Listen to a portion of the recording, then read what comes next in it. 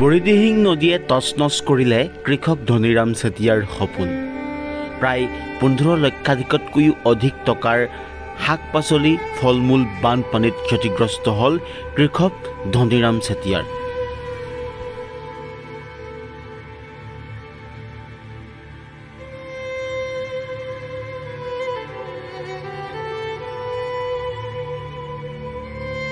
মই বৰ্তমান যি স্থানত উপস্থিত আছোঁ এই স্থানত এতিয়া কেৱল এক ভাল লগা পৰিৱেশ।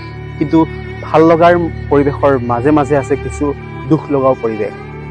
ইয়াত দেখিছে মোৰ চৌপাশে কেৱল ফল মূলৰ গছ আম বিভিন্ন প্ৰজাতিৰ আম জলকীয়া গছ আছে এয়া বগৰীৰ গছ আছে আৰু বিভিন্ন ধৰণৰ ইয়াত শাক পাচলি ফল মূলৰ গছ আছে লিচুৰ গছ আছে। ইয়াত দেখিছে সুন্দৰভাৱে লমালমে লাগি আছে আম। কিন্তু এটা পৰিতাপৰ বিষয়। ইয়াত মোৰ তলৰ দৃশ্য দেখাব মোৰ সহযোগীয়ে। ইয়াত যিহেতু এতিয়া বাঢ়নি পানী বাৰিষাৰ যি বাঢ়নি পানীয়ে ইয়াত ক্ষতিগ্ৰস্ত কৰিছে। ইয়াৰ গছসমূহ মৰি গৈছে জলকীয়া গছ আছে ইয়াত আৰু এই আমসমূহ তলত সৰি গৈছে। কাৰণ এটাই বুঢ়ীদিহিং নদীৰ তাণ্ডৱ বুঢ়ী নদী নদীৰ যি প্ৰলয়ংকাৰী বানে ইতিমধ্যে তিনিচুকীয়া জিলাৰ এজন বিশেষভাৱে চৰ্চিত কৃষক হৈছে ধনীৰাম চেতিয়া আৰু ধনীৰাম চেতিয়াৰ এই যি কৃষি উদ্যানখন আছে ফল মূলৰ উদ্যানখন ক্ষতিগ্ৰস্ত কৰি তুলিছে।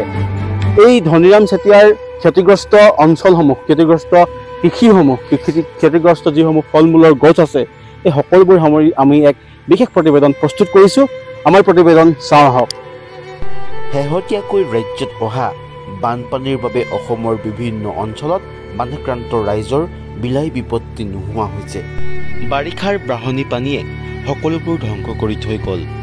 বানপানীৰ সময়ছোৱাত কোনোমতে নিজৰ প্ৰাণটো বচাইহে ৰক্ষা পৰা বানাক্ৰান্তসকলৰ সকলোবোৰ পানীয়ে উটুৱাই লৈ গ'ল। প্ৰধানকৈ এই বানপানীৰ বাবে কৃষকসকল ক্ষতিগ্ৰস্ত হোৱা পৰিলক্ষিত হৈছে। খেতিপথাৰত উৎপাদিত শাক পাচলিসমূহ বানৰ কবলত পৰি নষ্ট হৈ পৰাৰ লগতে কৃষকৰ কঁকাল ভাঙি পেলাইছে এই বলীয়া বানে। বানপানী শুকোৱাৰ পিছত এনে এক কৰুণ দৃশ্য পৰিলক্ষিত হৈছে তিনিচুকীয়া জিলাৰ পেঙেৰীত পেঙেৰীৰ টেকেৰী গাঁৱৰ বুঢ়ীদিহিং পাৰৰ এজন উদ্যমী প্ৰগতিশীল কৃষক হৈছে ধনীৰাম চেতিয়া। সামাজিক মাধ্যমৰ জৰিয়তে অসমত সকলোৰে পৰিচিত এইগৰাকী কঠোৰ পৰিশ্ৰমী কৃষক ধনীৰাম চেতিয়া এতিয়া বৃহৎ লোকচানৰ সন্মুখীন হ'বলগীয়া হৈছে। কৃষক ধনীৰাম চেতিয়াই পোন্ধৰ লাখতকৈও অধিক টকাৰ বিভিন্ন শাক পাচলি ফল মূলৰ লোকচানৰ সন্মুখীন হ'বলগীয়া হৈছে। বছৰেকটোৰ বাবে ধনীৰামে প্ৰায় পঁচিছ বিঘা কৃষিভূমিত অমিতা জলকীয়া বেঙেনা মাহজাতীয় শস্যৰ লগতে বিভিন্ন প্ৰজাতিৰ আম বগৰী লিচু মধুৰিআম নাৰিকল আদিৰ খেতি কৰিছিল। এতিয়া এই সকলোবোৰ বুঢ়ীদিহিং নৈৰ পানীয়ে প্লাবিত কৰি তোলাৰ ফলত এতিয়া সকলোবোৰ ফচলৰ গছ মৃত্যুমুখত পৰিছে। কৃষিকৰ্মৰ জৰিয়তে পৰিয়াল চলোৱা ধনীৰামৰ ওঠৰ বিঘা ভূমিৰ পুখুৰীৰ মাছো বানপানীত পুখুৰীৰ পৰা ওলাই যোৱাত এক বৃহৎ লোকচানৰ সন্মুখীন হৈছে। লমালমে গছত লাগি থকা বিভিন্ন প্ৰজাতিৰ আমসমূহ সৰি গৈছে। উন্নত প্ৰজাতিৰ অমিতাসমূহো মৰি গৈছে। এইটো এটা অদ্ভুতপূৰ্ব অনাকাংক্ষিত পৰিস্থিতি।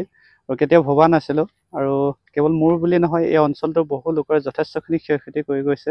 আৰু দৰাচলতে মোৰ পূৰ্বৰ তুলনাত বহুতখিনিয়ে বুলি কৈছোঁ আচলতে তেনেকুৱাকৈ বিশেষভাৱে হিচাপ দিব নোৱাৰোঁ। তথাপিও অনুমানিক একেবাৰে নাই বুলি ক'লেও হয়তো পোন্ধৰ লক্ষাধিক টকাৰ ওপৰত যেনেকৈ এতিয়া প্ৰায় ছবিঘামান অমিতাই আছিলে তিনি বিঘামান ভোট জলকীয়া আছিলে তাৰপিছত বিভিন্ন ধৰণৰ তেনেকৈ বেঙেনা তাৰপিছতে লতাজাতীয় কিছুমান শস্য আছিলে আৰু কিছুমান আম গছৰ সৰু পুলি ইতিমধ্যে মই সামাজিক মাধ্যমৰ জৰিয়তে কিছুমান কৃষি সম্পৰ্কীয় তথ্যবিলাক দি থকা হয়।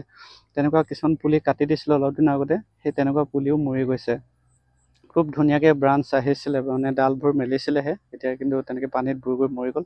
তাৰপিছতে আৰু আমাৰ এটা ফিচাৰী আছিলে সমজুৱাকৈ। সেইটোৱে আটাইতকৈ বেছি পৰিমাণে ক্ষতি হৈছে। কিন্তু মোৰ ব্যক্তিগত হিচাপে নহয়। সেইটোতো প্ৰায় ওঠৰ বিঘাৰ আকাৰৰ হৈছিলে সেই ফিচাৰীটো। তাত যিমানখিনি মাছ আছিলে সেইখিনি গুচি গ'লগৈ। প্ৰায় এতিয়া পোন্ধৰ লক্ষাধিক টকা আপোনাৰ হয়। মানে বাৰিষাৰ মানে নষ্ট কৰিছে। এইখিনিতো মোৰ ব্যক্তিগত হিচাপেই কৈছোঁ। যিহেতু কাৰণ অমিতা এবিঘাৰ মূল্যই প্ৰায় ডেৰ লাখমান টকা হয় বছৰেকত। গতিকে আকৌ তিনি বিঘা মানে তেনেকৈ জলকীয়া আছে বিভিন্ন ধৰণৰ তেনেকৈ লতাজাতীয় শস্য আছে বেঙেনা আছে। তাৰপিছতে আম আছিলে আম গছনি যিহেতু প্ৰায়ে সামাজিক মাধ্যমত হয়তো বহুজনে দেখিবলৈ পাইছে একেবাৰে চাপৰতে লাগিছিলে। আৰু সেই চাপৰতে যিমানখিনি পানীত ডুব গ'ল কিছুমান বিশেষ বিশেষ প্ৰজাতি সৰি পৰিলে মানে তেনেকৈ।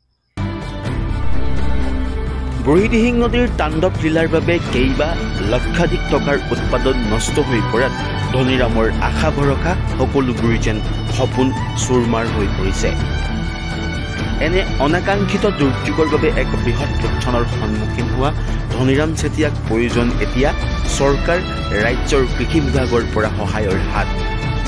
যাৰ সহায়ত যাতে ধনীৰামে পূৰ্বৰ দৰে পুনৰ বিভিন্ন শাক পাচলিৰ খেতি ফল মূলৰ খেতি কৰি আৰ্থিকভাৱে লাভান্বিত হৈ অসমৰ গ্ৰাম্য অৰ্থনীতি টনকিয়াল কৰিব পাৰে তাৰেই আশা কৰিছে।